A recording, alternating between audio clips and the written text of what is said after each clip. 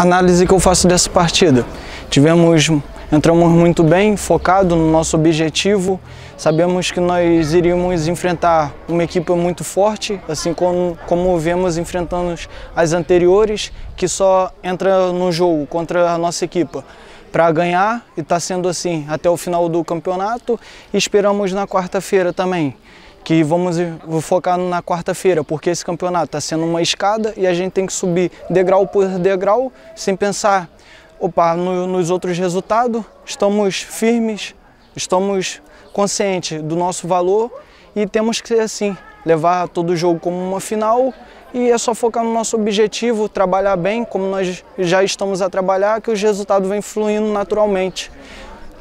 E é isso, eu convoco todos os adeptos para estar conosco quarta-feira contra o Pessegueirense, que vai ser um jogo muito importante para a gente. E é isso, vamos lá na torcida.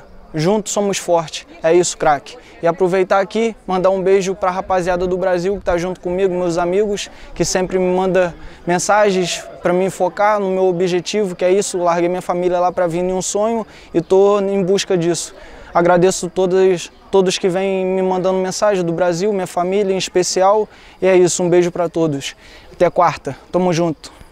Sim, foi um jogo, um jogo que nós tornámos fácil, embora nós encaramos todos os adversários uh, sem, sem, olhar para a tabela classificativa, com muito respeito.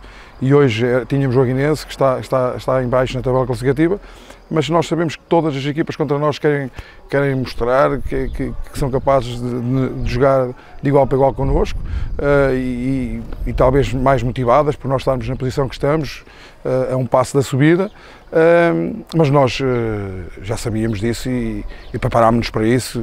Os jogadores foram, foram coesos, foram unidos, como, como, como costume, trabalharam muito, foram inteligentes, conseguimos construir o resultado na primeira parte, 3-0.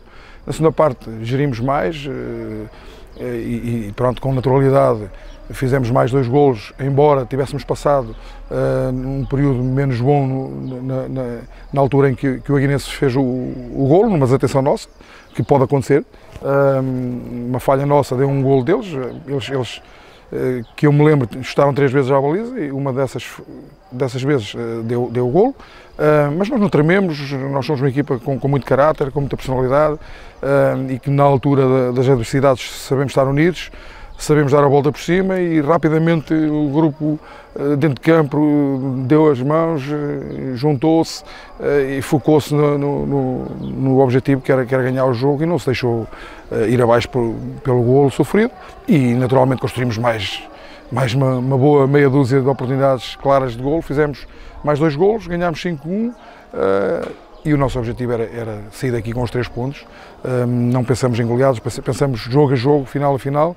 Um, eh, tínhamos antes deste jogo, um, para, para matematicamente termos a, a, subida garantida, que ganhar quatro jogos. Uh, um já está, faltam três. Uh, é já quarta-feira o nosso próximo jogo com o Pessegueirense e queremos, em nossa casa, dar mais uma, uma boa resposta uh, ganhando o jogo e ficando com os três pontos do nosso lado para, para, para encurtar a distância, uh, porque quanto mais uh, rápido matematicamente conseguirmos o nosso objetivo, que é claramente a subida, melhor. E é nesse, nesse objetivo que nós nos focamos.